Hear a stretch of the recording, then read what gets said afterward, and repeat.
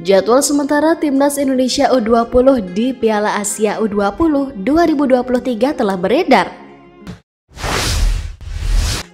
Piala Asia AFC 2023 adalah edisi ke-18 turnamen sepak bola Piala Asia AFC.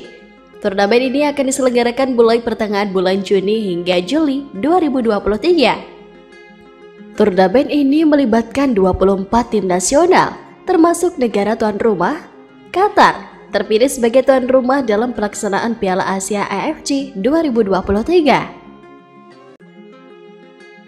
Sebelum Qatar terpilih sebagai tuan rumah, gelaran Piala Asia AFC 2023 awalnya dijadwalkan akan diadakan di Tiongkok.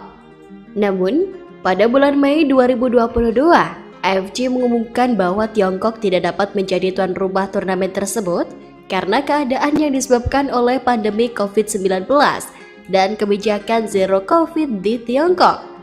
Pada bulan Oktober 2022, AFC mengumumkan bahwa turnamen akan diadakan di Qatar.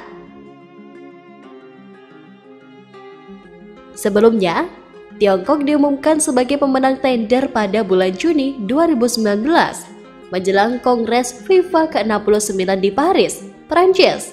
Namun, karena mundurnya Cina sebagai tuan rumah, putaran kedua, empat negara telah mengajukan penawaran seperti Australia, Indonesia, Qatar, dan Korea Selatan. Akan tetapi Australia kemudian menarik diri pada September 2022 dan Indonesia pada bulan Oktober 2022. Selanjutnya, pada pertengahan Oktober 2022, AFC mengumumkan bahwa Qatar memenangkan bidding dan akan menjadi tuan rumah Piala Asia 2023.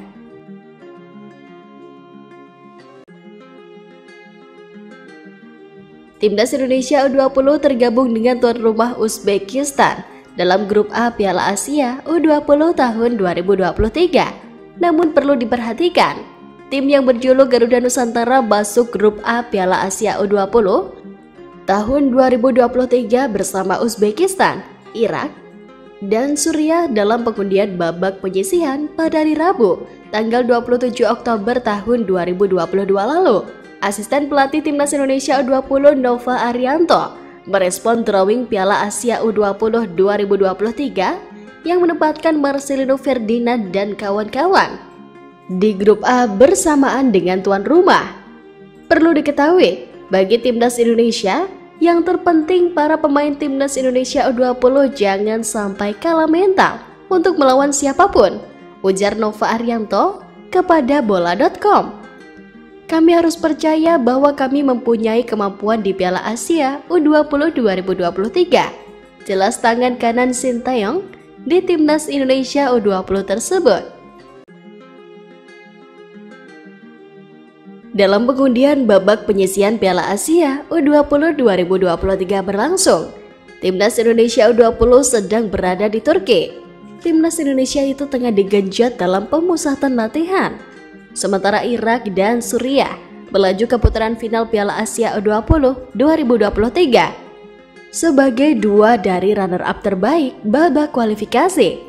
Adapun sebagai tuan rumah, Uzbekistan berhak menjadi peserta Piala Asia U20 2023 tanpa bertanding di kualifikasi dan menempati grup A. Jadwal sementara Timnas Indonesia U20 di Piala Asia U20 2023 telah beredar. Tim berjulukan Garuda Nusantara itu akan melawan Irak dalam partai pertama grup A. Dan setelah menghadapi Irak, tim yang berjulukan Garuda Nusantara ini bakal bentrok dengan Suriah lalu Uzbekistan. Namun, tanggal pasti untuk tiga partai timnas Indonesia U20 di grup A Piala Asia U20 2023 masih belum ditetapkan. Yang pasti semua tim di Piala Asia U20 2023 pastinya punya kualitas yang baik, termasuk tuan rumah yang bergabung dengan kami, ujar Nova Arianto. Secara kualitas, Timnas Indonesia U20 tidak kalah kelas daripada Uzbekistan yang seharusnya diuntungkan dengan faktor tuan rumah, Irak maupun Suriah. Timnas Indonesia U20 malah cukup beruntung tergabung di grup A Piala Asia U20 2023. Mengapa demikian? Seperti yang kita ketahui, di grup B hingga D terbilang lebih berat. Di grup B ada klub yang sangat dipertimbangkan, termasuk raksasa Asia seperti Qatar,